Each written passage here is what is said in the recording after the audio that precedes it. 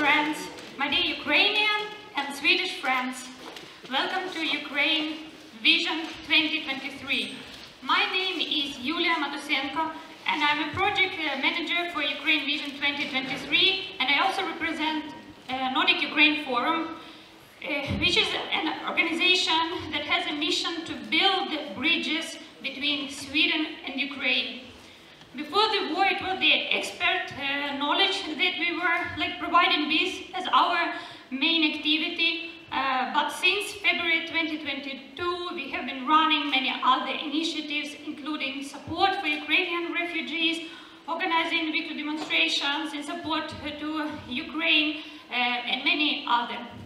Uh, as we all know, the ongoing Russian war against Ukraine is motivated by a denial of Ukrainian innate identity, culture and the right for self-determination for the Ukrainian people. Uh, by inviting artists and cultural workers from both Ukraine and Sweden, we want to highlight the role of culture both on and off the battlefields, as well as to give room for conversations about how literature, music, theatre and humor affect society in times of crisis. Thus, we from Nordic Ukraine Forum are very glad to uh, invite you to this event with the theme Cultural Dialogues.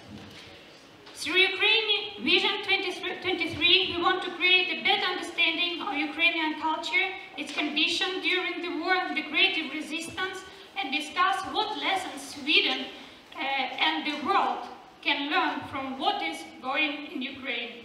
Ukraine Vision is organized together with uh, United Voice um, with sponsorship from Nordic Light Hotel, Canadian Embassy in Sweden, and also with support from the Cultural House of Stockholm, as well as with the financial support from the City of Stockholm.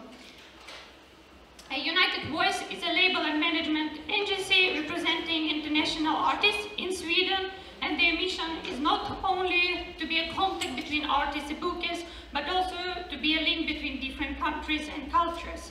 Nordic Light Hotel is a contemporary design hotel in the very heart of Stockholm. I want also to present two fundraising initiatives that we all ask you to uh, donate during those days.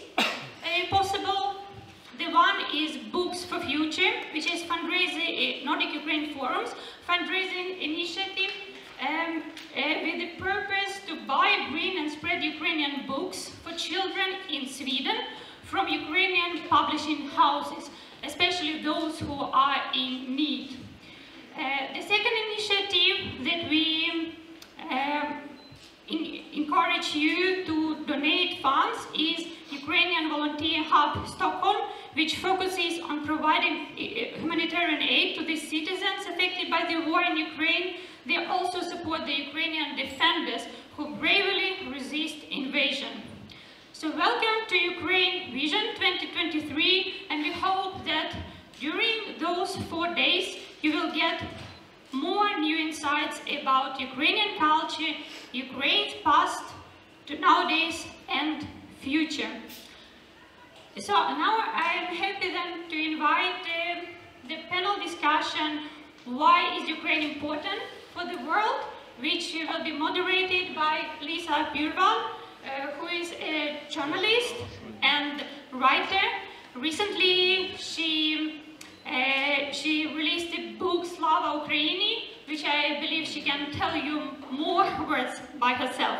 So your, the floor is yours now, Lisa. Thank you very much. And thank you everyone who's come here today or have stayed in the room because we have already had a really fascinating panel discussion which some of you then missed at one o'clock about how to narrate uh, the horrible things that are happening in Ukraine. How can literature handle uh, the war? But now we are going to speak about what's going on in Ukraine from a much wider perspective actually. We have representatives here from, from science, from economics, from security policies, um, and we will try to tie this together under the headline of why Ukraine matters so much to the world. And uh, let's just introduce you from left to right, I think. Torbjörn Becker, you are the director of the um, Stockholm Institute of Transition Economics. Is that right? Absolutely. And we can call it SITE because it's a bit easier.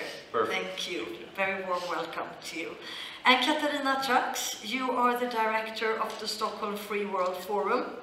Should we say this is the leading forum on security policy in Sweden? I think so, yes. Yes. Okay. And we have Vakhtang Kebuladze. You have just arrived from Ukraine uh, at the Taras Shevchenko University in Kiev. You're a philosopher, translator, writer, and probably many other things too, right? But these are the main titles. Yes. Thank you. A warm welcome to you. Uh, I was worried I didn't get hold of you via email, so we're extra glad that you made it here um, to Stockholm in time for this. Thank you for coming. Thank you for the invitation. Thank you.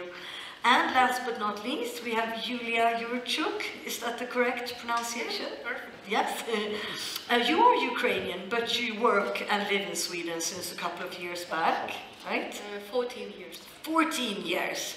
Um, so you could actually understand us very well in Swedish, right? I think so. But we will have this in English anyway. Uh, you are a historian at Södertörn University, and you specialize in memory, religion, with a particular focus on Eastern and Central Europe. Yep. Yeah, and Ukraine, of course, including. Welcome to you. Thank you. So, since this is such a huge topic, what we decided was to start with the present and then move into discussing the future. Obviously, almost exactly one year has passed since this full-scale invasion. I want you to tell us a bit about how this has changed Ukraine and its people, starting with you coming straight from that country, and Europe as a whole, given your respective economic security policy and so on. Um, but starting with you, of course, how has this changed Ukraine and its people? You meant this this year, this year Yes, this the, year that has of the passed. invasion. Oh, uh, it would say it's hard to tell about that because we are inside this, the, the story. Yeah? And uh, I repeated uh, that uh, we need uh, some distance. Yeah? Philosophers, humanitarians, we need some distance to to explain, to interpret, to understand what what and that. Yeah? That's why uh, we are all Ukrainian people and probably all people who support us all over the world. We are in the middle of the story. That's why it's very complicated for me as philosopher to under, to to describe, to to understand, and to explain what what does it mean for us. And uh, for example, I, I I started the book before the war about the philosophical anthropology, and I stopped this process because I understand that I can't write this book now. I should write the very short essays about the situation in Ukraine, all uh, in in Ukrainian and German language here. So probably the, I would say the, the style of life, our life is, is, is changed, yeah. It's, uh, it's, a, it's yeah. And, and, and uh, I would say it, it's, it's, it's very, it's very, uh, it's, it's experience of pain, I would say for me, uh, but at the same time it's very important experience for me. So I would say, like a person, uh, I don't know if I need this experience, but it, it comes, yeah? and it changed me. It changed the style of my thinking. It changed the, the whole attitude to, to do my life in Ukraine. Uh, but I, I was waiting for that. Yeah, it was it, it wasn't a surprise for me. That's why uh, that's why I can describe the the experience of the citizen, other citizen of Ukraine, uh, who didn't wait this, who had an illusion that this uh, this war uh, will will come to our houses. Uh, as a philosopher, I say it, it, it's very it's very hard to me to to explain the situation because we are in the middle of the story. But uh, once more, my my own my personal experience, uh, for example, about my book. before this invasion, I didn't uh, think that I should should write about the philosophy of war. Yeah? When I when I when I uh, when I'm writing about the philosophical anthropology, about the philosophical theory of of human being, uh, it, it was not my idea to, to write about the war. But now I'm sure that it's absolutely important to write not about the war only like a, an event, yeah, historical event, but we should we should discuss, describe, and uh, explain the the the deep grounds of the war. And that's why it, it's new topic for me, and I, I should write about that. So the the war changed us and everybody of us, not only the the people who go to to front, front line but all people who live in Ukraine. And uh, we will see, as I said, we are in the middle of the story. But the main, but the main thing that I would want to say, uh, as for me, it's a very dangerous illusion for all of us that, uh, so we, we are dreaming about our victory. But as for me, our victory is not a point in the future, like a day of the victory. Yeah? So we, we use, for example, we use very often in our in our articles and even in social media this uh, slogan, Ukraine will win. Yeah? But I say uh, uh, that we, we, should, we should change the mode of this slogan. We should use not future indefinite, we should use future continuous. Ukraine will be winning and the whole free world will be winning. So it's, it's a very long process uh, and we can we can discuss what what, what it's, a, it's a great uh, question for me. What does it mean? What does it mean? What what victory of Ukraine and over the whole free world against Russia, uh, the victory against Russia mean? Yeah, I, I don't know now. Yeah, but I am sure that it's a very long process and not for not only for politicians, not only for the military people, but also for philosophers, for writers, for for for for scientists, for for all of us, mm. all over the world. And it's also a new a new experience, a new knowledge for our, for all of us because we. So it's it's it's a nature for human being to to dream about peace, to dream about the normal life uh, but it's very dangerous to think that it can in, in few days or in few months or even in, even in few years. Called this danger or this, as I call it Russia's shadow of civilization is near us and we feel it. Yeah? And this process is very long.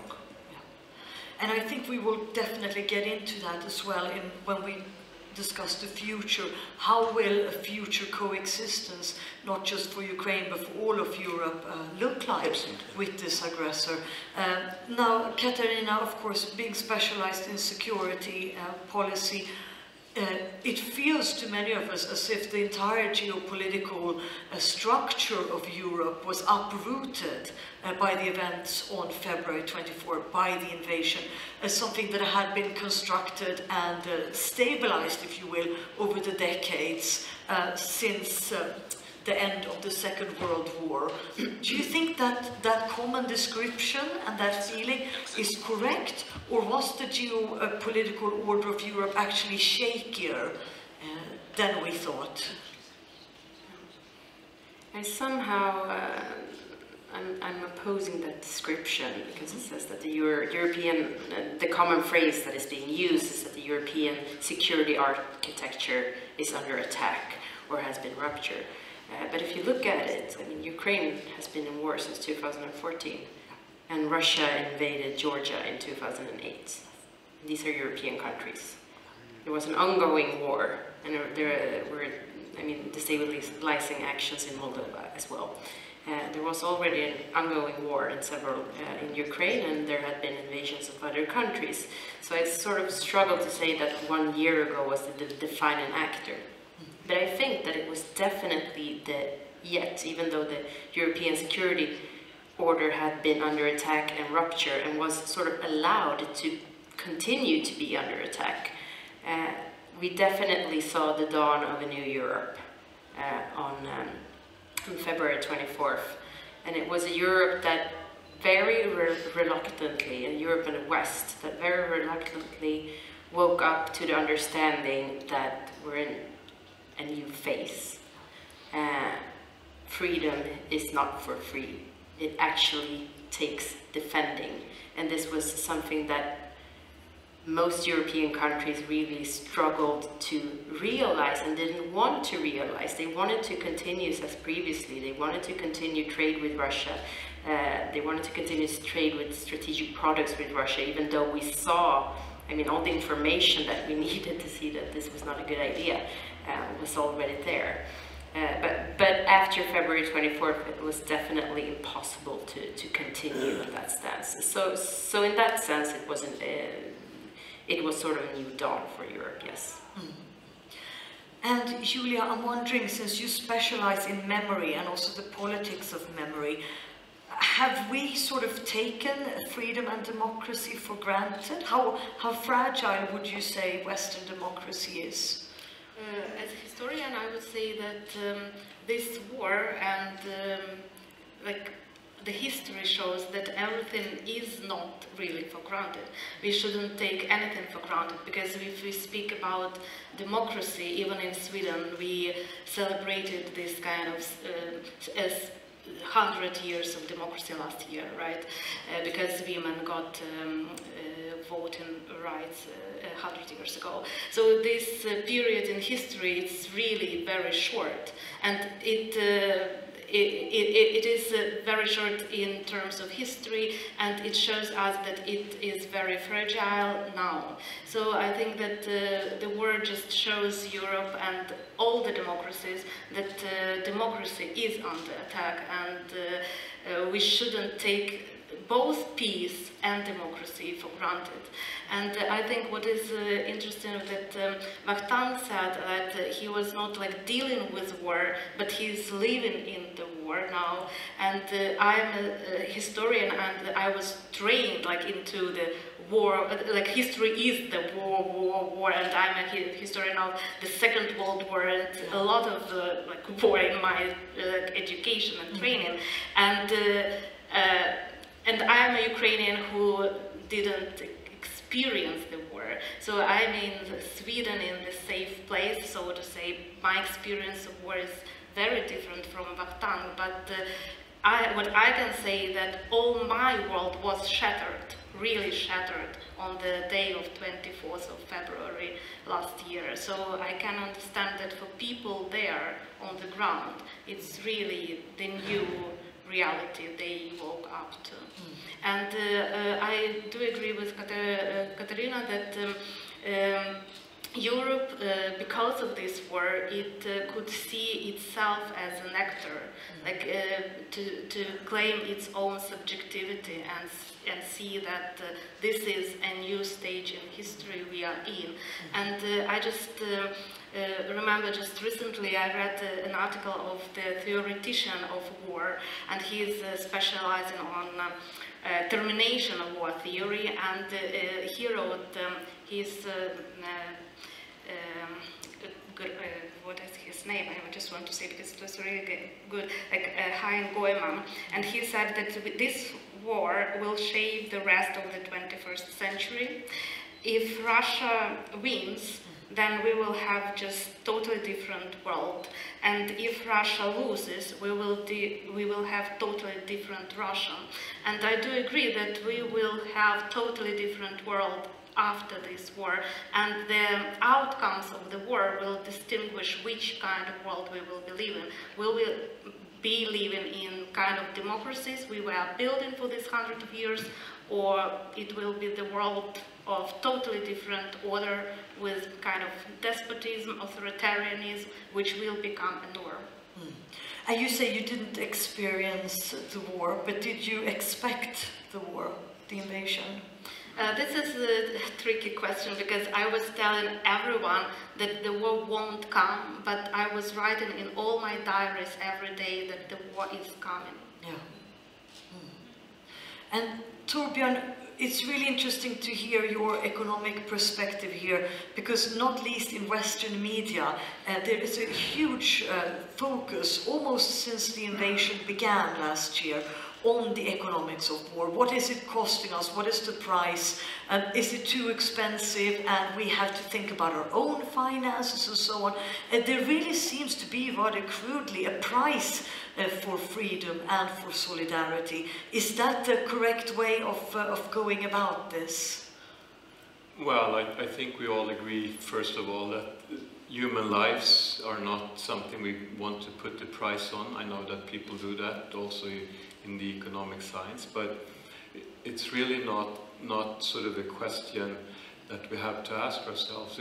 It's basically the price of defending the life of, of yourself and your family and your friends. That's infinity, basically. So from, from that perspective, it always becomes a little bit shallow when we discuss how many dollars do we need to put into this war and how many guns do we need to buy or rockets or whatever. Um, but of course, I'm an economist, so I do sit down and look at the numbers and, and think about how much money did we in Europe or in the collective West uh, invest in, in the future of Ukraine so far. And, and you know, it, it's quite shocking how small these numbers are when we put them in perspective.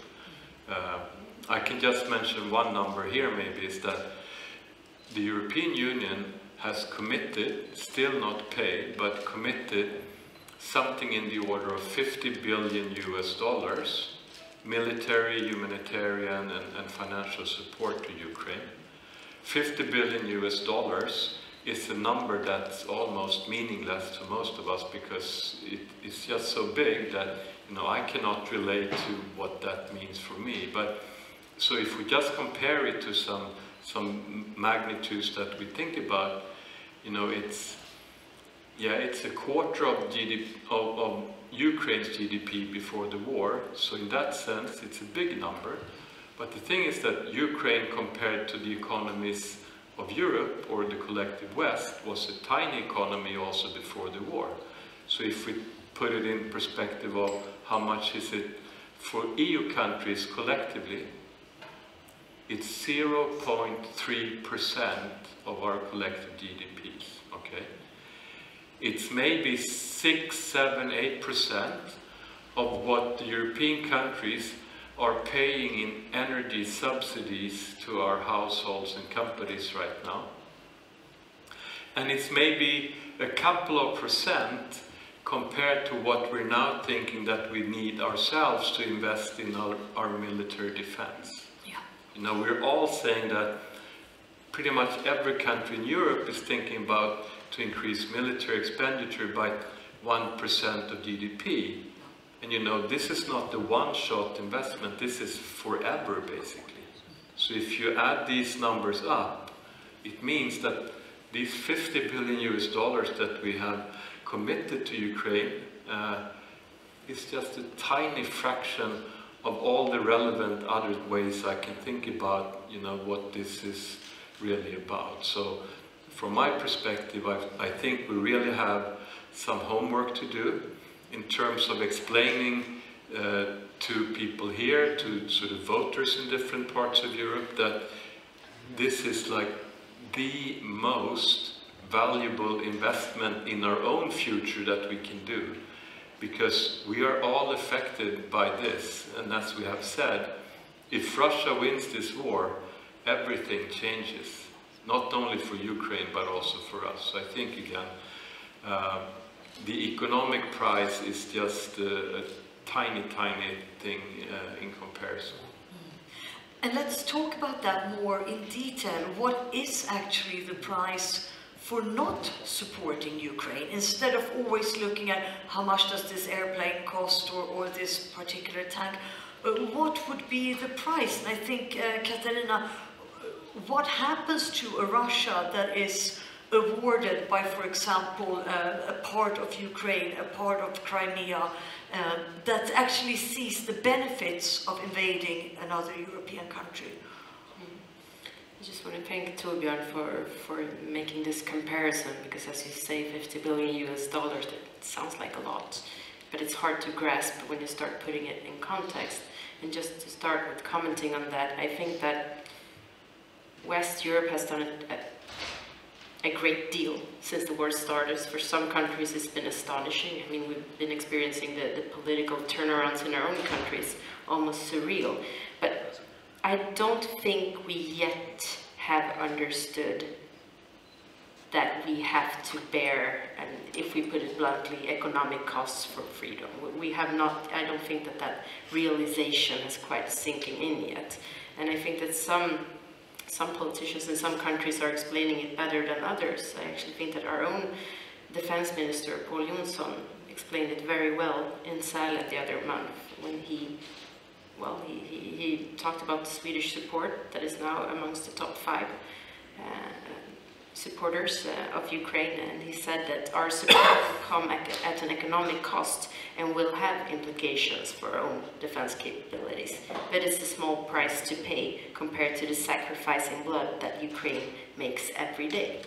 And we need more explanations like that. Uh, because yes, it's an economic cost, but what is the cost of not doing so? And that understanding has not, is just starting to be shaped. And in order to sort of arrive there, we have to ask ourselves out loud, okay, what does, what does it mean to not stand up for Ukraine? What does a, a Russian victory look like? And what are the consequences of such victory? And if you pose those questions, we, we all start, you know, we, we start to get a picture of, you know, Russia being emboldened and starting to continue the, the horrific things it's doing in Ukraine, just being involved and empowered to continue doing them. It's, it's not a very pretty picture, and therefore I think there's a certain reluctancy towards that. But uh, we have to talk about it more loudly, uh, if not else in sort of a pedagogical sense, to be able to maintain and significantly increase the aid and support to Ukraine right now. Um, and to sort of make the understanding that this is truly the battle of our time, this is the battle of our generation, of decades to come that is being fought right now. And Julia, of course, as a historian, uh, you are living in this uh, very important historical moment looking at Sweden's history, uh, we were, I mean, neutral like this with the quotation marks. Um, some would say we have perhaps put our head in the sand. Uh, we have um, tried to defend our own territorial integrity by, for example, allowing uh, German soldiers to pass through on the way to occupy Norway. We have not uh, got a particularly strong history of European solidarity in the last couple of decades. Um, will we be able to make the right decision based on that history? Uh, what surprises me really that uh, Sweden reacted really well um, to to the war. So they understood the whole threat and uh, the seriousness of the situation. And um, I just hope that it will continue because uh, I think for Sweden, exactly because of its history, it was a huge, huge step towards NATO, for instance. It's an identity, like this is the question of identity, and Swedish people were ready to do it. So we don't know how it will end, right? But uh, even this movement, it also shows that even Sweden, so it also shows the uh, threat and the seriousness of the situation because even Sweden was ready to become a NATO member. So I think it uh, tells us a lot. And I just wanted to tell about this price of um, uh, of uh, democracy, price of uh, victory, and we thought about it, and we talked about it in the last panel about this uh, importance of words, right?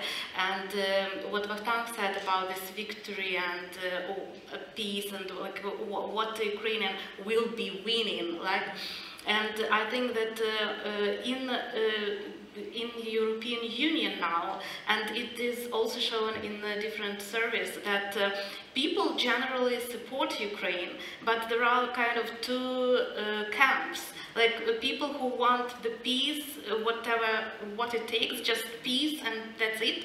And another camp is uh, the justice peace, uh, justice camp.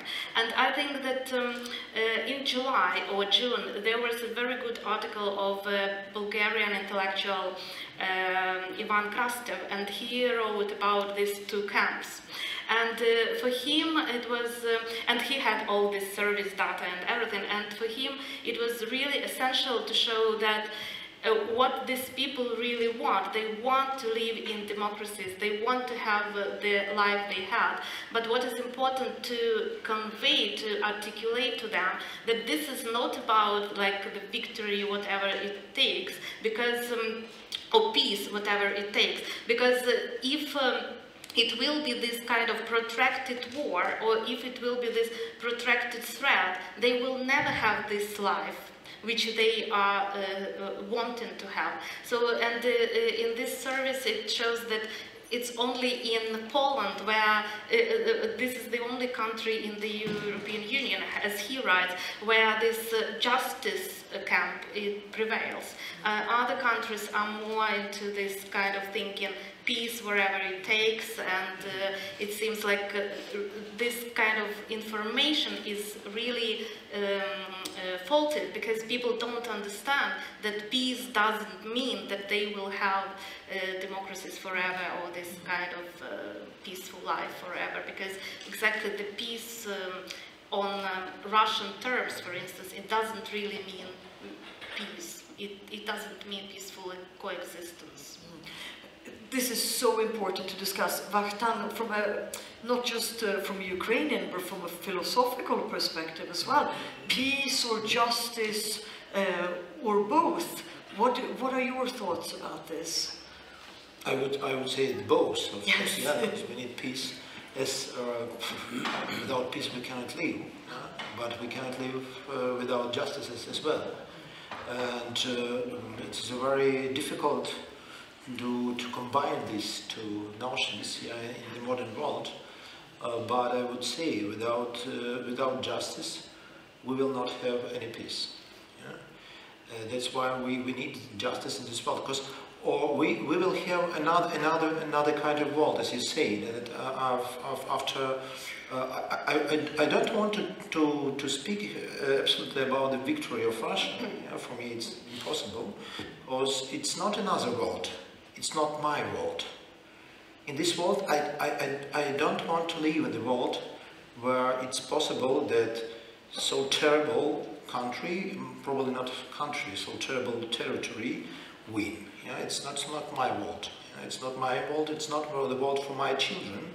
It's not the world for the for the new generation. Yeah, that's why we should say about about this very difficult combination of peace and justice and uh, their, uh, their, their um, philosophical horizon for it, in their, in their, the theory of values. Yeah? So we, we should say, we should speak about the values and we should speak not, not only about the peace and justice, we should speak about freedom, we should speak about dignity, the name of our revolution. Yeah. It was the beginning of, the, of this part of story the name of our revolution it was the revolution of dignity.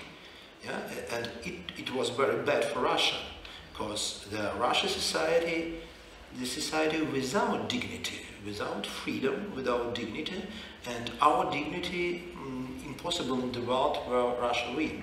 That's why we, we should speak about the many different European values, freedom, justice, peace, dignity, and uh, we should ask ourselves, uh, we really want to live in the world without war, but without dignity, without freedom?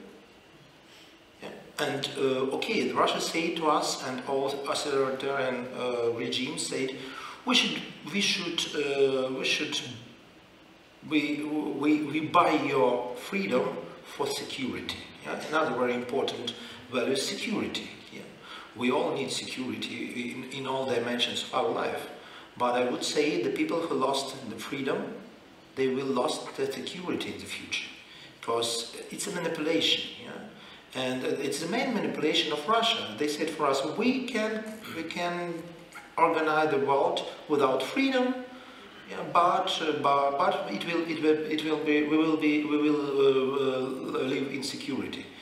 But it is impossible, absolutely. So we know we, we are free people and we know that we cannot live in the world without freedom because the world without freedom means the world without dignity, without justice, without security. And it's not, uh, I would say, uh, in this world, uh, the life is impossible. And when we, uh, uh, we are hearing now the, the, main, the main messages of Russians uh, propaganda, they say life, life is not a value. Yeah? The, the death, yeah, it's okay. For us, the death is okay. Yeah? The first one, and then another one, or happiness. Happiness is not a value. We should be unhappy.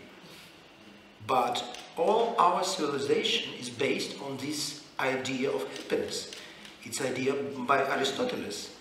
Without, for, for so, uh, for what we are living here, for, for what we are, we are waiting, what kind of life we are waiting for our children in this, in this, uh, in this world. Uh, death, unhappiness, security without freedom. Do we really want to in the, in the world like that? I'm not. Yeah. So it's not only the question of uh, victory of Ukraine or the, or, or, the victory of Western civilization in this war. I think that it's a question about the victory of mankind. For me, Russia is the enemy of mankind. Yeah? It's, uh, it's, a real, it's a real illness of, of our human being. And we should do something with that and after the victory also we should we should think about that what should we do after that with all these people and for that and uh, probably it's a question to his uh, to to the history? Because we we and it was uh, also i think the topic of the first discussion about these narrations in in, in history in literature uh, we uh, often used the old name and these old names, uh, old names, and these old names come very often from Russian narration. One small example. I discussed the whole situation with my friend from Germany. He's a musician. He's for us, yeah.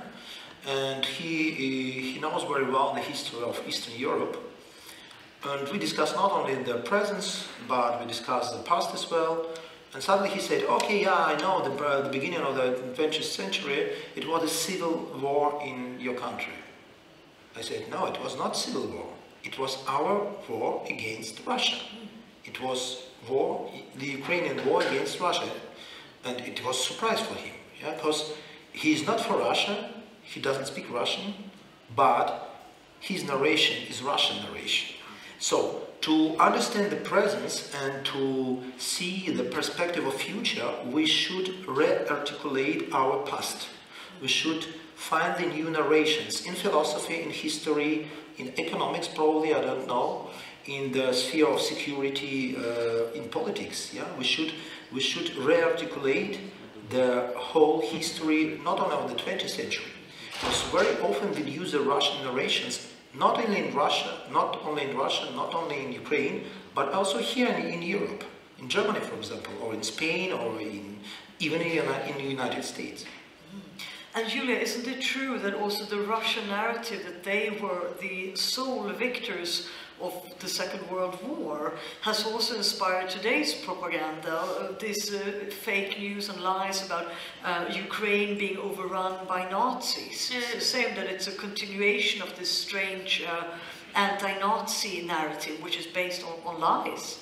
But uh, uh, this is indeed how Russia is using this history, history of um, the, the end of the Second World War and they, that they were there uh, the only victors. And uh, in the last uh, um, speech of Putin, for instance, he did, um, uh, and, he just mentioned that it was only Russia who won the war, and everyone was uh, against the Russia. He, like he, he even mentioned that the whole West was against Russia. Mm-hmm. But uh, I mean, uh, what about allies? What about like history, right? And uh, of course, this is all about this narratives. And Andrei uh, mentioned this speech Putin first had before invading Ukraine, and it was about this unity, like Im imagined unity uh, in uh, Putin's head uh, with Ukraine and Russia. And now this imagination is just growing wild, and he's openly saying that this is exactly the war of Russia against the West, and it was exactly the same when uh, we were uh, fighting in the Second World War. But what is very uh, dangerous here that this kind of um, appropriation of victory, it has uh, very practical um, implications because Germany, it seems that Germany really internalized this feeling of guilt only uh, against uh, Russia, but not against other countries. And I think that many of you read Bloodlands of uh, Timothy Snyder, where he shows that uh, uh, the main battles were of the Second World War were actually on the ground of Ukraine and Belarus and uh, Eastern Europe. It was not Russian ground. And if we talk about the Soviet army, it was more than five million Ukrainians only in the Red Army. So this was this was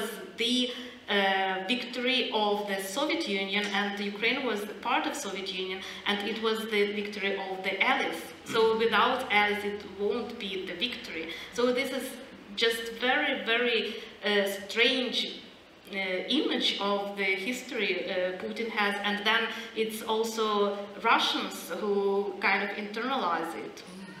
What do the rest of you think of this ongoing parallel sort of battle of ideas, the battle of the narrative of uh, your vision of Europe? What do you think of that? Well, I mean, it's so much propaganda now all over the place. I mean, I'm, I'm looking at the economic discussions, in particular then the, the things around sanctions and how sanctions work or not on the Russian economy. And it's just so filled with different stories of how this is not the problem, etc., uh, etc. Et it's quite obvious it is the problem for Russia, but you know they tell the stories that this is not the problem, but you know fundamentally, every time I hear Putin, Lavrov, Peskov, any one of these guys saying something, you know, it's 99% lies, and then they put some percent of truth that someone can catch on to and then turn it around and make the rest of the 99% of lies still not imagination. So I mean, it's quite shocking when you see how many people buy into that kind of uh, fake story, fake news kind of narrative that you see. I would like to comment. So we use this uh, notion propaganda, but it's not really correct because I, I think about this book by Peter Pomerantsev, do you know this guy from, uh, from Great Britain, but he's from Ukraine at first, uh, and uh, this book, Nothing is True, Everything is Possible, about the Russian so-called propaganda, and Peter, he is absolutely right, I think, then uh, he said that it's, it's not correct to, to describe this situation in, in, in Russia with the, the notion propaganda. Because propaganda, it's, uh, the propaganda is instrument. It's not bad or good. Yeah? Propaganda is promotion, promotion of different ideas. Yeah? Of, uh, ideas can be good or can be bad. For example, propaganda of uh, Nazism, communism is bad. Propaganda of uh, human rights is good. Yeah? And that's why Peter called, uh, called this, uh, this process psychological informational war. And not only against, against Georgia or Ukraine, but against the, the whole free world. And the main goal of this psychological informational war to show that there is not truth in this world. Everybody lies, not only Putin or um, Peskov. Everybody lies. That's why everything is possible. We can say, today we can say that another day we can say something others, and that's why it's, it's everything, everything is possible in this world, and it's very dangerous because it's not about propaganda, it's about real psychological information war. And I would uh, say something about this narration about Second World War. It's very good that we don't use now this, uh, this Russian notion, great patriotic war. Because uh, they use the, the, the, and if you, if you ask the Russian, I'm, I'm absolutely sure that the most uh, people in Russia, they, they, they think that this war began in 1941, not in 1939. It's very important. So it, it's, also about the narrations. And I have another question, not about only uh, Red Army. We, I don't think, I didn't know why, but even the, uh, the, the, the, scientists in Ukraine, we don't uh, discuss this problem uh, of uh, so-called Vlasov army. Vlasov army, it's, it's Russian army, the Second World War, and this army was alliance of, of Hitler. And it was Russian army. It's, only Russians uh, were there, and it, it was approximately from 50, 100,000 to, to millions people who fight who fight it on the side of, of Hitler. And it's yeah, of course, it's very unpopular in Russia to say about that, but why we don't discuss this, this issue. And uh, after, after Stockholm, I, I go to France and I, I see the roots of this Vlasov army in this first wave of so-called white immigration. Yeah? And white immigration is very popular in France, for example. Yeah, there were excellent people, philosophers and writers, but there were many representatives of, of, of this white guard and they also were was uh, they also were our our our enemies in this uh, first so-called civil war, but it was the war at the beginning of the 20th century. It was the war of Ukraine against Russia, and and I, I, I, I see the direct connection between this first uh, first wave of Russian immigration in France, for example, or in Germany, and this Vlasov army in the Second World War. But I, it's, it's also a question for you. Why we don't discuss this issue? Uh, we discuss it in yeah? history, right? But, uh, but you are absolutely right that this is not a part of uh, any kind of collective memory of Russians. Yeah, absolutely. But in Ukrainian, I, I think you also know, no. or not? No, no. Or in Europe, yeah, it's, it's a question for you all. Yeah, because yeah, I, I, see that in France, for example, this uh, this legend of this of these uh, victims of the communists, uh, the, this wave of White Guard, yeah, this, this, this, name of the novel by Mikhail Bulgakov, White Guard, it's like a legend about the very uh, good people, but it's not the truth. Katarina? Oh, we have a school class running for the weekend. very happy. Yes. Uh, but your microphone is very loud. Yes, so I, I will so talk louder than the, than the happy kids. No, but a, but a comment about history. Mm -hmm. uh, what we've seen in Russia and very consciously during the Putin regime is an active use of history and a weaponization of history. I want to recommend the brilliant report that was published for us by, by Gudrun that actually touches upon this, how the use of history has been weaponized. And I think in Sweden, and you ask a historical question, uh, in Sweden it's, it's very hard to relate to this, because I think we are exceptionally unhistoric. And we are unhistoric because we have allowed ourselves to have bad knowledge of history, um, wrongfully so, I'd say, but because we have had peace for 200 years. So we have sort of started to think that history doesn't matter. And we have seen this weaponization of history for a long time in Russia. There have been various uses of, I mean, in, in propaganda, or, or, you can call it someone, something else, but in, in, making fun of Swedes, that we are tough on Russia because we're angry about uh, Poltava, or you know, these type of historical references that just sort of fly above our heads. I mean, the silly Russians, they cared so much about history and everything, but this has been another tough lesson for Sweden to learn that history matters and it can be used and misused in a profound way that we are seeing now. And when it comes to, to propaganda and, and disinformation and, and the Psychological, Psycho- psycho- psychological war. Psychological warfare, exactly, that's what it's about, and also weaponization of information and of misinformation that has been used. If there's one upside to this war, I don't want to say upside generally, but it is that the, that the spread of the sort of overall Russian narrative or nothing is true, uh, uh, relativization, what whataboutism it's commonly called. It doesn't fly as good in, in Europe and the West. It does in some circles, but it's considered to be very fringe and rather extreme. Before, it was rather mainstream to say, but mm, doesn't Russia have a point here? And you know, it's never one's uh, just one's fault when there's a conflict, and so that, that's not mainstream anymore. That's a good thing. It's much more hard to spread these type of narratives now. There- It's been a very painful sort of coming back to reality. Very much so. And I just want to go back quickly to Torbjörn.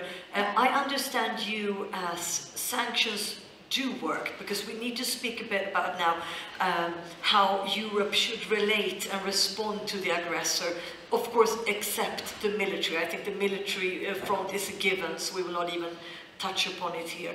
But do you believe sanctions are effective? Should they be much graver?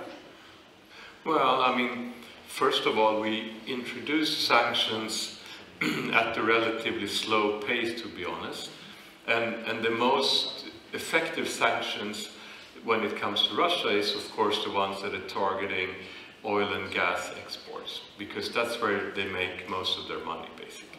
It, it supports 40 to 50% of the government's budget that comes from that. And it's uh, maybe 60, 70% of export revenues is also related to, to energy exports. So, you know, it's, it's not hard to figure out what we should target with sanctions, but of course, a lot of countries in Europe uh, had a great degree of dependency on importing this energy, not least Germany, but it's, it's actually quite interesting to see how it differed among European countries. So, you know, the fact that it took some time to agree on these sanctions is not so surprising when we look at sort of who's importing what and how different it looks across countries in Europe. We may want to think in the future about maybe more solidarity when it comes to, you know, okay, I agree on sanctions, but you pay me a little bit of money to put up with the suffering because I'm the one suffering from the sanctions, you know. We could maybe be a little bit more clever in Europe.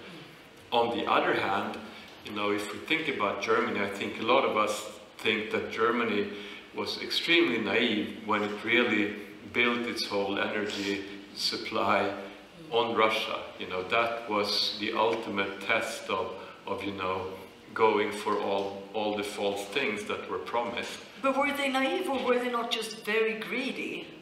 No, but I mean, you, both. you cannot be greedy if you think it's going to uh, develop the way it did. It, it's just stupid. I mean, I'm sorry, but it's not smart. No. You know, now they had to fix everything in a very short time period, you know. That, that's not greed, that's not planning right, you know. So it's basically not thinking about what are the consequences if we mi- misjudge this particular supplier of something that is critically important to the entire society. And you know, do you really want to rely on a regime that's not democratic for something like this? Probably not. So, but anyway, I think now we are at the phase when, when the energy sanctions are coming into force. This is seriously going to limit the war chest of Putin. Uh, when we add also sanctions on what we export to Russia, that, that impacts what they can actually produce for the military and, and, and for other industries. You know, so I, yes, I think sanctions will have a much bigger bite this year than last year. Interesting. So when it comes to some of the forecasts, just to finish on that, uh, on the Russian economy for this year, the IMF, for example, put up the forecast Russia will grow with 0.3%. I think it's completely wrong. Uh, I think it completely underestimates the fact that now is the year when the energy, energy sanctions come into force. That was not last year. You know, so I think if, if I was the Minister of Finance in Russia, I would not sleep so well at night. No. Katarina. Yeah, ju- just a short comment to, to follow up on, on Germany and the gas supply. It's uh, today it's often you know it's popular to explain various decisions with naivety, but all the information was there. And when it comes to Germany, the, the, the experts and experts and, policymakers across the world said, "Don't do this, don't do it," you know. But they decided to do it anyway. Uh, so I don't think it can be explained with naivety. I also I agree with with um, with Torbjörn that, that greed is not a good explanation because it's such a risk. And look look at the situation we're in now. But it, uh, uh, maybe Julia can explain the, the mechanism better. It has historical reasons and emotional ones that are you know that make sort of rational decisions cloud the judgments for. Julia, rational- would you say, so it's not greed, it's not naivety, could it be fear?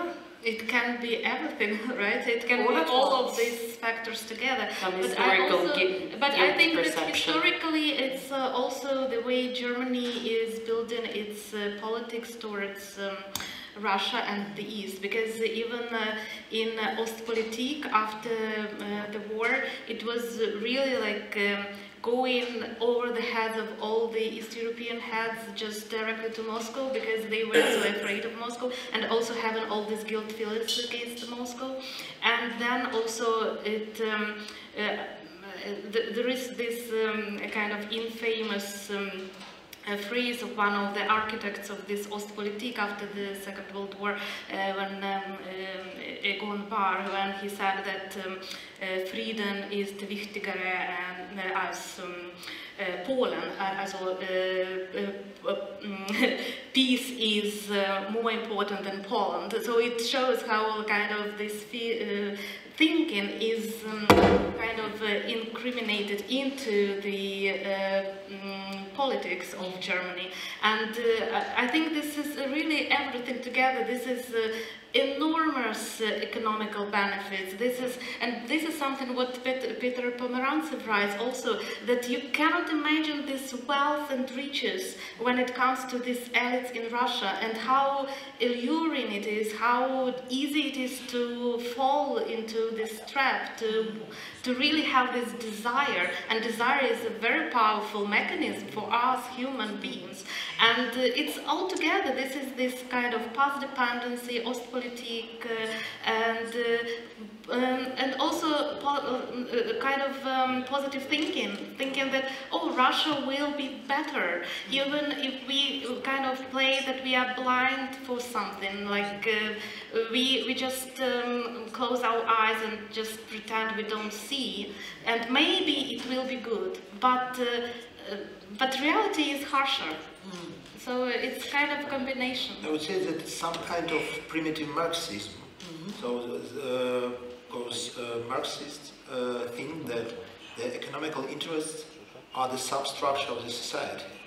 And that's why it was idea, Ostpolitik, yeah, it was an idea that when we have the uh, common economical interests with Russia, it will be everything okay. Yeah? But it's wrong, because the economical interests are not the substructure of, of, of the human being. And we, we see that uh, why, we, why many experts say that it's impossible that Russia comes to Ukraine. Because it, it's not good for Russia. It's not good in, in economical po- from an economical point of view. But probably there are many other motives in the human human behavior uh, aside of uh, just economical uh, interest. And that was the main, as for me, it was the main philosophical, so to speak, philosophical mistake of this Ostpolitik. Well, we can have a whole panel where we discuss Europe's historical mistakes in dealing with Russia, and Londongrad, of course, is another example of uh, where London has basically been bought up uh, by uh, Putin and the, the oligarchs, which Catherine Belton has written uh, so well about. But I think we'll be talking for about just 15, 20 more minutes, and then we'll let the audience in. So we have to focus a bit on the future now. And please give me your thoughts on how Ukraine and Europe, after Ukrainian victory, will be able to coexist with this aggressor that has, committed such uh, atrocious war crimes. Uh, I mean, I suppose justice, a proper trial, a criminal court sending um, decision makers to The Hague would be the first step. But how will a peaceful coexistence with Russia even be possible in our lifetimes? All of us sitting here. What would you think? I think that it is impossible. Yeah, the peaceful coexistence with Russia is impossible. It's a great illusion. That's why I would say that it's, it's a terrible thing, but the only one way, it's, if it's possible, the peaceful destruction of Russian empire. It's only one way to peace, to justice, to freedom, to dignity, for all these values that is very important for us. And it's a very big and dangerous mistake to try uh, to see our future coexistence with Russia. No, it's impossible.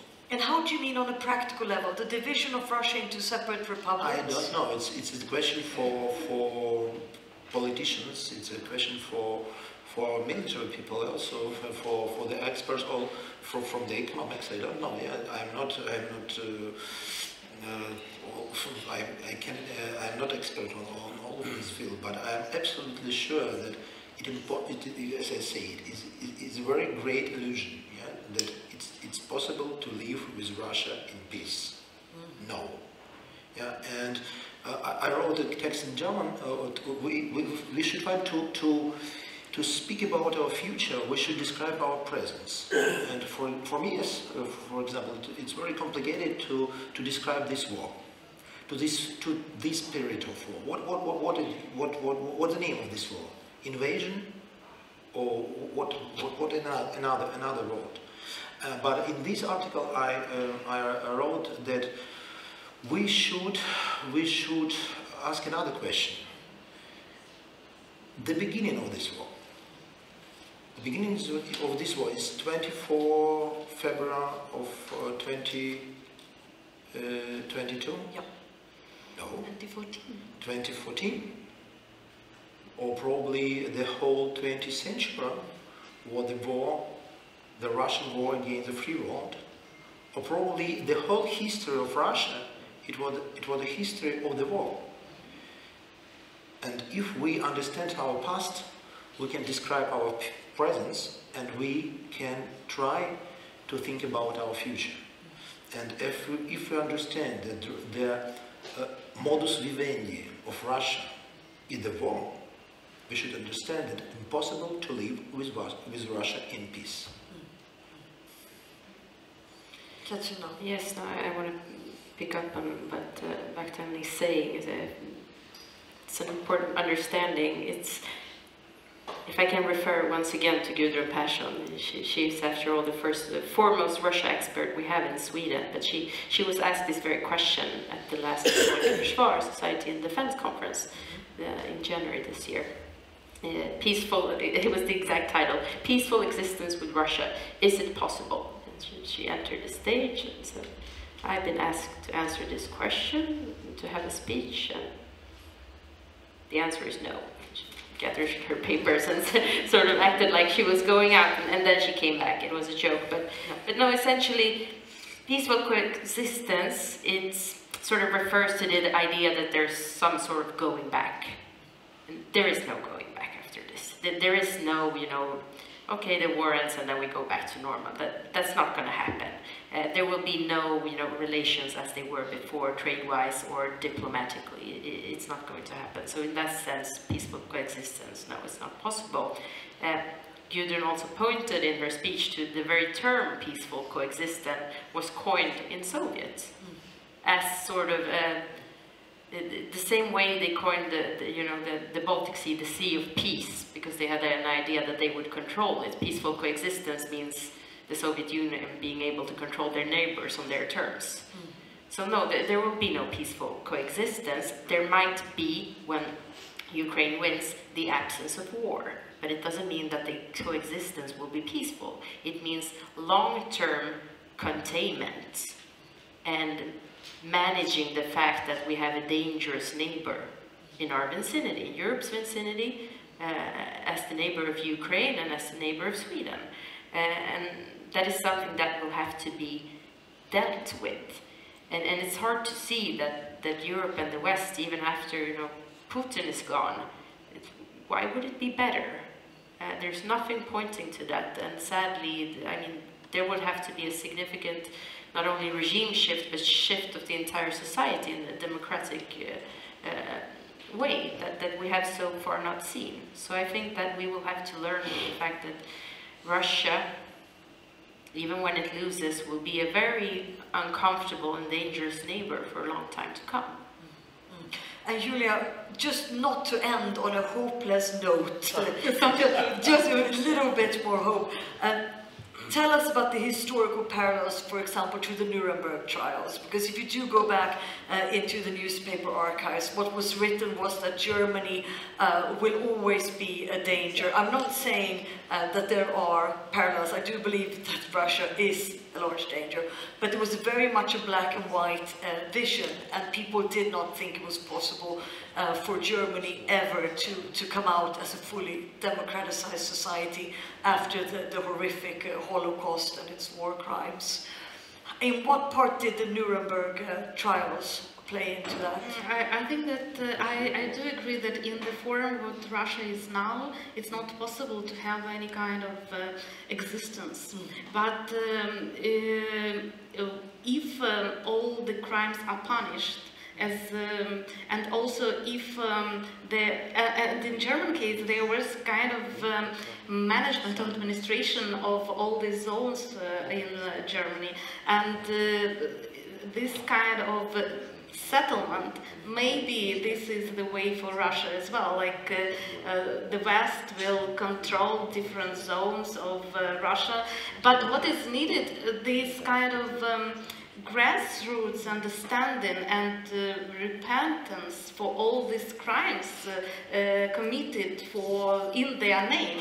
But uh, I don't see any kind of movement in Russia that they come to this kind of uh, feeling guilty, feeling ashamed, and feeling like we want to ask for forgiveness, because this is what is what what was. Uh, um, kind of seen in Germany after the war, uh, but just because uh, thanks to the trials and thanks to this uh, uh administration from outside. Mm. Yes. I, I, have a positive answer, but not like you know, not like probably as philosopher, but like a poet. Uh, I think that imagination is a very important factor of our historical process. And I absolutely agree with Benedict Anderson. I think that's a very important uh, book. You know these imagined communities? And their main, main, main, main, main slogan is both nations are narrations. Yeah? Because yeah, and the social imaginations is very important. So we should imagine the future world. So we should imagine it. Yeah? In Ukraine, in Sweden, in Europe, in USA. And what should be the object of this imagination? I, I, I, I, found the answer in Izium. You know this small, small town near Kharkiv. We were there after the occupation. Yeah, we were on this cemetery, this terrible cemetery where many soldiers and civil people were killed by Russians, tortured, killed and buried. And uh, almost the whole town is destroyed. And we found there the building with a great painting, mural, yeah. It was a portrait of John Lennon. Mm -hmm. And it was a quotation from his well-known song, Imagine. Yeah, you, you understand. Yeah? Imagine all the people living in the world agree. And this portrait was destroyed by the Russian shelling. And I think we should put this portrait of Lennon, destroyed by the Russian shelling, all over the world with another word. Imagine world without Russia. Let's start.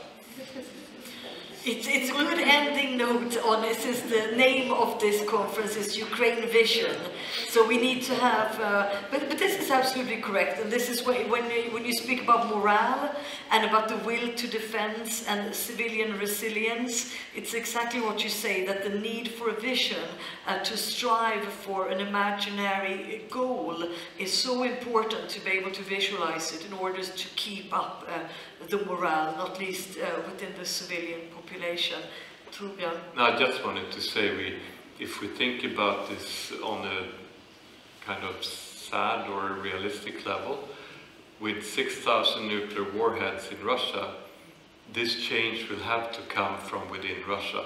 You know, it, we cannot go full out war with Russia given this, so you know, but in, in some sense, the only solution to living peacefully with Russia is, of course, if people in Russia decide that this is not the way to continue their history, and they, they agree with the West to have some sort of disarmament that makes them, you know, not a nuclear power that can always threaten the whole world. I mean, that's the only realistic solution. You know, as long as they have all of these nukes there, it's not realistic to think that we can, you know, have them at the Nuremberg trial and they will all, you know, think differently. This has to come from within Russia, I think. But the passiveness and, and uh, complacency within the Russian civilian population is, is hugely problematic, which so many people have written about, Peter Pomerantsev uh, as well. Uh, what would it take then for, uh, for the Russians to awaken to these horrors that are being committed in their names? Mm, I, am afraid without um, external pressure there won't come any change. I would say that illness, the social illness, is the core of Russian identity. That's why I I'm not I'm not think, I don't think that it's it's it's it's really really possible to wait the changing between inside Russia. And I'm realistic, and I, I, I absolutely sure that it is impossible. Probably we we need this pressure, not not only military pressure, but economical, intellectual, political pressure to change this territory and, and to change the people who live there. Because when I say that we, we should imagine the, the world without Russia, I don't say that we should imagine the world without Russian people. Yeah, it's, it's, it's like it's, it's, it's, another, it's, another, it's another scenario of future. Yeah. I think about the Soviet Union and what was uh, this pressure. It was kind of uh, impossibility to travel. It was the impossibility to buy. Uh, this was this really restrictions into consumerism because people desire things, and if they don't have these things, maybe this will influence them. Inconveniences, yeah, daily lives, just being uncomfortable. And the impossibility to travel anywhere, to go to uh, Los Angeles and have all this beautiful life there as they used to have. Mm. And it's also the instrument to find the good Russians. Yeah, we, we, we try to find the good Russians. For me, it's impossible now, but I find one question for the people from Russia. Uh, so, about imagination. Yeah? Can you imagine the world without Russia? It's a question also for Russian people. If they say to me, or he or she said, yeah, okay, I can imagine it, that is the starting point for, for, for, for, the, for, for the discussion. But try to, to, to do it. you, you, you will find nobody. I'm absolutely now you will, you will find nobody. And I, I I, I, th I think that I can't say, uh, say it because I was born in Soviet Union. I hated Soviet Union, yeah, and the great dream of my life was the destruction of Soviet Union. So, why the Russian people cannot imagine the world without Russia? It's a freedom for them. It's a, it's a free, it's a justice for them. It's a dignity for them. Like for me, who was born in Soviet Union, who hated his own motherland, and it's a great trauma for, for me. But it was my dream, it was a dream of my childhood, And now I am free. And I have the dignity. So it's a solution for Russian people also. Katarina, is there anything we can learn from the collapse of the Soviet Union?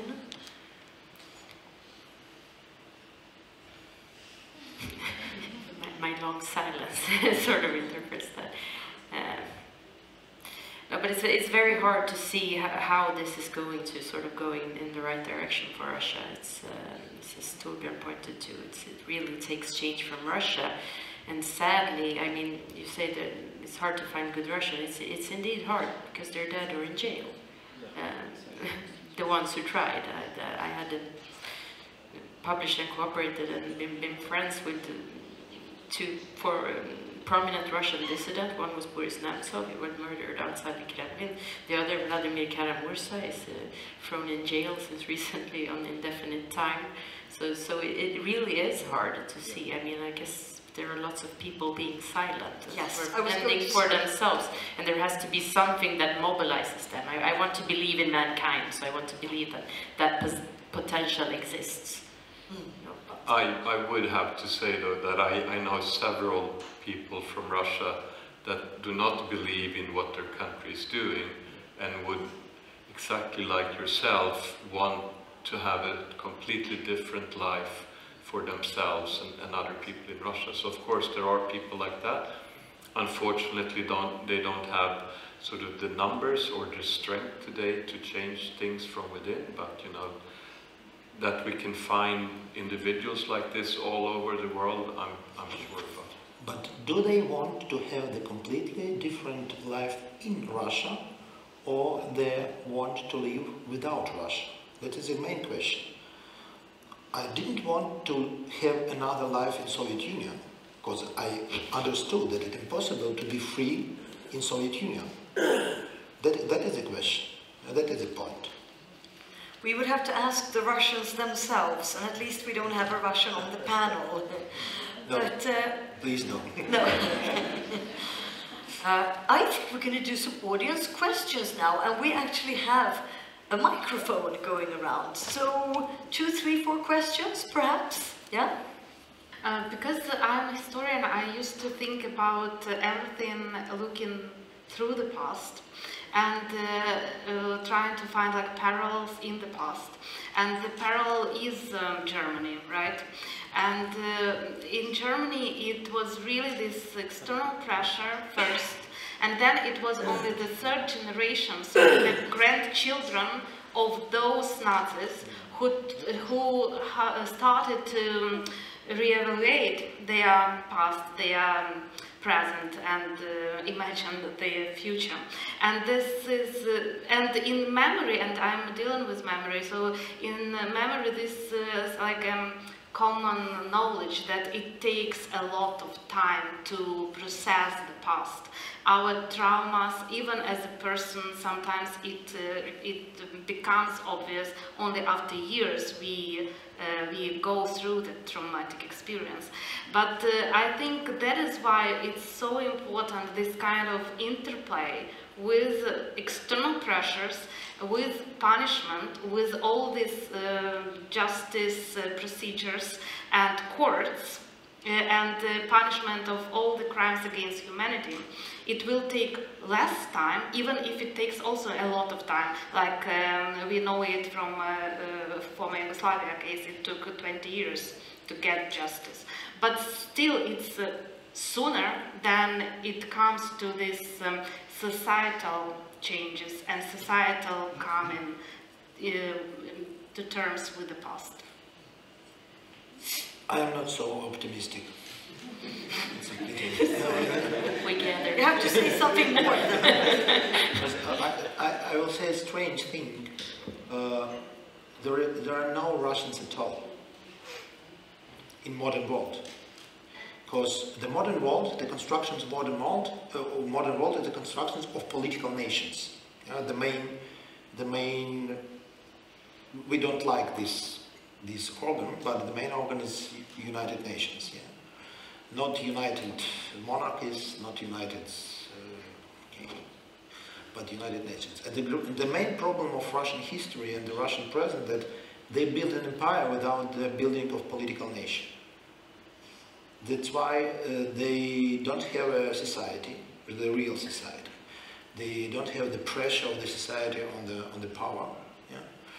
That's why uh, in modern world, in, we have the political nations. For example, in Sweden, in Sweden, we have political nation. In Germany, in Great Britain, in the United States of America, it's not ethnical nation, it's political nation. In Russia, we don't see any political nation at all.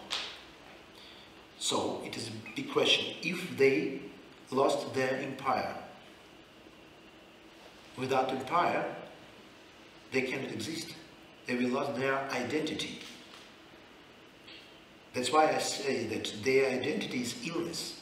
And for example, about this denazification of Germany, uh, we can imagine that uh, the people, uh, it, it, is, it was possible to treat this illness uh, for example, to uh, uh, they can read Goethe, for example, yeah, because and if we try now to um, treat this illness of Russian Russian illness and to propose them to read Pushkin,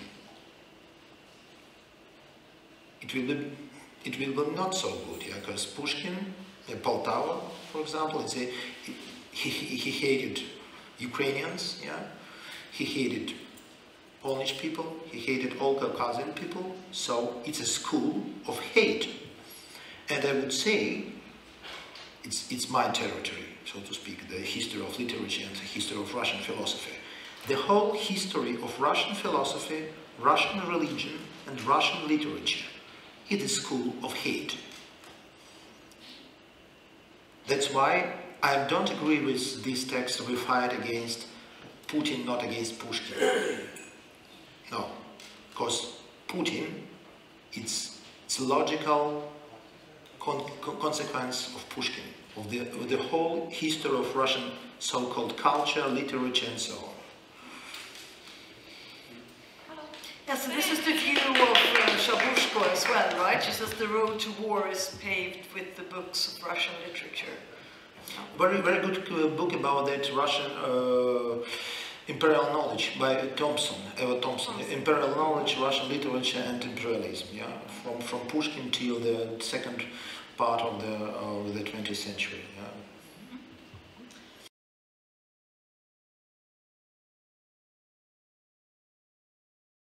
Uh, as I said, I think that Sweden is doing well, and I just uh, hope that it will continue to help Ukraine.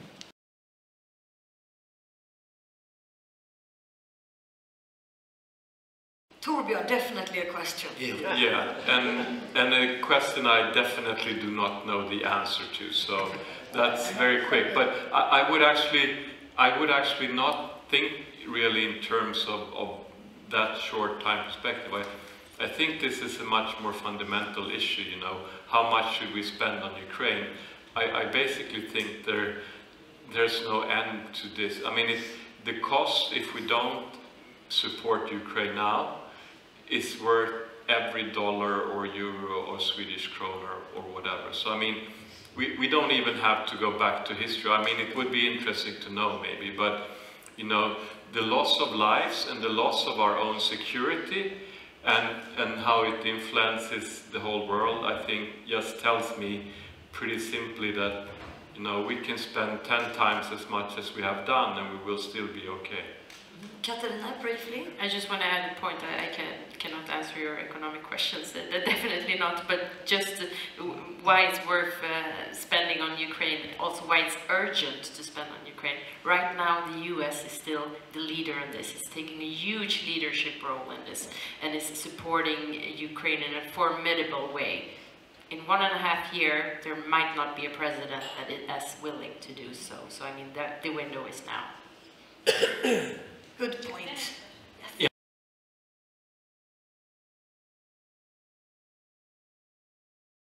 My positive thinking is exactly with all the Ukrainians who think that Russia will be, um, will, uh, will be not Russia really, it will be a different uh, entities uh, which will uh, find their own freedom. Uh, and I would say that it's a great mistake to think that the main problem is Soviet Union. Because before Soviet Union, Russia was also aggressive. And it was not very good country for the people who lived there.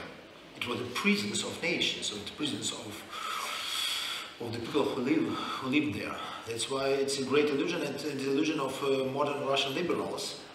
The, the main problem is uh, communism. I hate communism. I, I don't know what, what, what does it mean to live in a communist country. It's terrible. But it's terrible to live in Russia, not only in 20th century, but in 19th century and from the very beginning, until the end of this evil.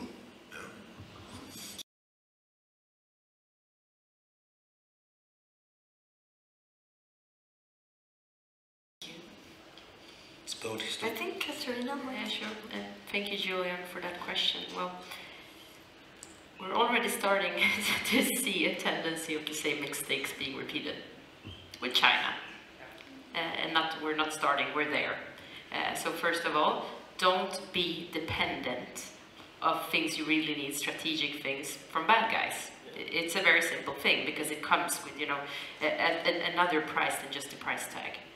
Uh, so to keep sort of repeating that narrative over and over again, but also I think the European Union should get it, get its act together and start, you know, enforcing screening, enforcing uh, some uh, some policies when it comes to this.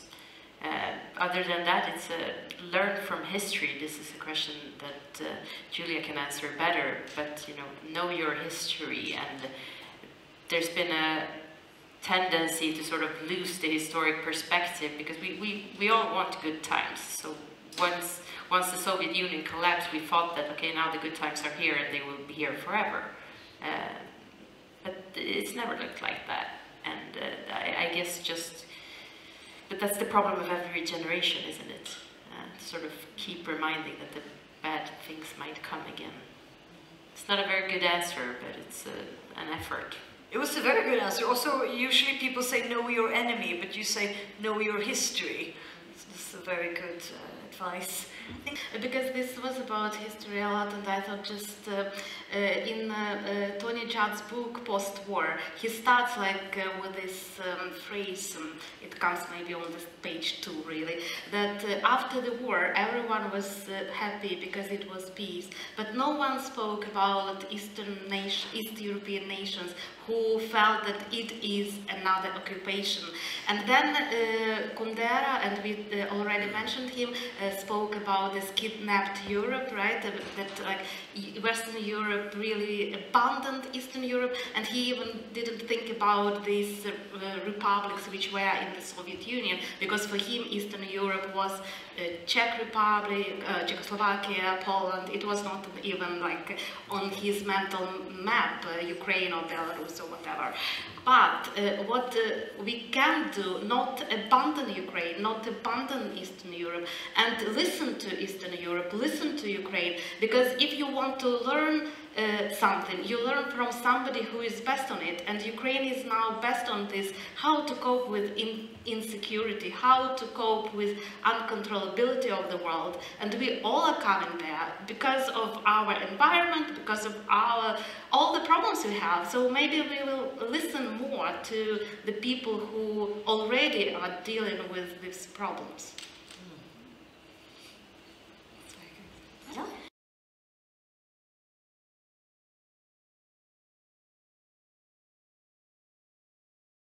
Why is Ukraine important to the world? I think it's quite easy because we want to have decent lives in freedom and dignity and, and Ukraine is really demonstrating how important it is. We take it for granted all the time, but you know, that's to me why it's important. And then we can of course talk about trade and great agricultural lands or green energy, blah blah blah, but it's really the symbol of, of dignity uh, that comes first? Um, it's quite just easy and just difficult to me to answer this question because uh, Ukraine is my motherland. That's why I would like to, I understand why the Ukraine is important to the world. Yeah, uh, but uh, it's a joke, you know. Probably, probably one of the main, of the main goal of our present uh, existence and our fight against Russia, not only in the field of struggle, not only the, on, uh, the, on the front line, is to tell, to tell uh, the world the real story about Russia. Because yeah, the people who lived, even in Poland, who lives who live in uh, Germany and in USA or in Great Britain or in Sweden, I think they don't understand what does it mean to Russia. And it's a great task for us, for Ukrainian intellectuals, for Ukrainian writers, philosophers, uh, to, to, to, to, to tell that. And uh, it's, it's very good that you, you're ready to listen to us now, because 20 years ago, it was impossible for me for example, to tell you about the Russia. And uh, probably we should find the solution altogether. And I will, I will uh, tell you one, one example. It was in Kramatorsk three weeks ago. We were there with a mission, we helped there the people and and our militaries, and uh, there were uh, the head of the Ukrainian PEN, Volodymyr Yermolenko, my friend and uh, famous Ukrainian philosopher and writer, and uh, head leader of uh, PEN Berlin. Uh, it's not Germany, it's another interesting history story, uh, Deniz Yücel. And we discussed discussed this issue. What should we do with Russia? How we should tell the people from Germany, for example, the whole issue. And I was very tired after two battle of of, of the bottles of wine, and I, I, I, they, they discussed and discussed and discussed and, and, and, tried to find to find the very short slogan. And, and I told them this slogan, and was, it was the end of the communication, for the end of discussion. Let's make Russia small again. that is solution. Yeah? And probably to find this different solution, we Ukrainians should speak with you, with people in Sweden, in France, in Great Britain, and that, that we can bring to you. Yeah? We can bring to you our understanding. Yeah? So we, we are expert in this issue. We, we, we do know what Russia means. And I just want to add because uh, uh, is maybe too uh, shy to add because he and uh, Volodymyr Yermolenko and mainly Volodymyr Yermolenko they have this beautiful podcast in English. It's called the uh, Ukraine World, mm -hmm. and they explain all these issues to the Westerners. So we we speak a lot about the West Westsplaining, like the West is trying to teach us, but they are doing their best in teaching the West to understand us. So I really recommend this podcast for everyone. Yeah, it's brilliant. I chime in. It's very good. Katarina, do you want to say one sentence on why Ukraine is important to the world? I just sort of want to echo what Torbjörn said, that because Ukraine is fighting for our freedom. Simply, they show what, you know, why it's worth fighting for.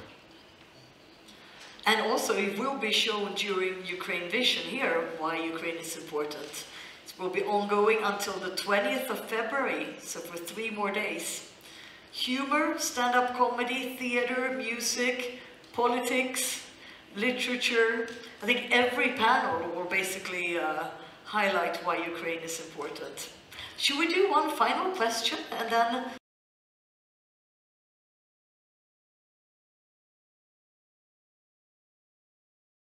this is the future and uh, Ukrainians really believe in this future because we wouldn't have this war if Ukraine were, were the part of this uh, European Union and NATO.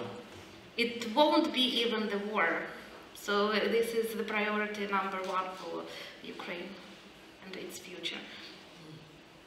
Yes.